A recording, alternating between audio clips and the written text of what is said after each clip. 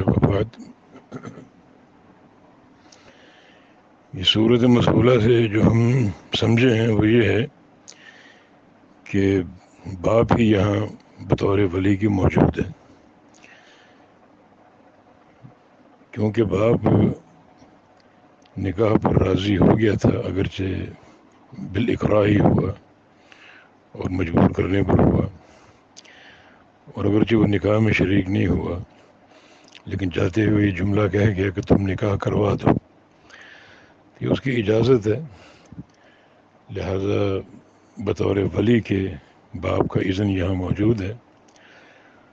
अब उससे नियाबतन कोई भी निकाह करा सकता है।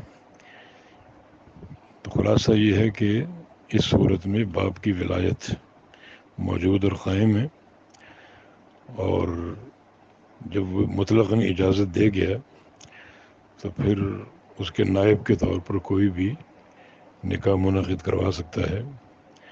यहाँ तो फिर भी चचा मौजूद थे जिसने निकाह करवाया। इसलिए चचा और भाई की जो एक विलायत का तारज़ है, वो यहाँ कोई मुजिर नहीं है। अगर जब भाई वली अकरब है और चचा वली अबद है, मगर यहाँ उसका नुकसान नहीं है क्योंकि असल वली का इज़न मौजूद है। इसलिए निकाह दुरुस्त है। अल्लाह अलैहि वसल्लम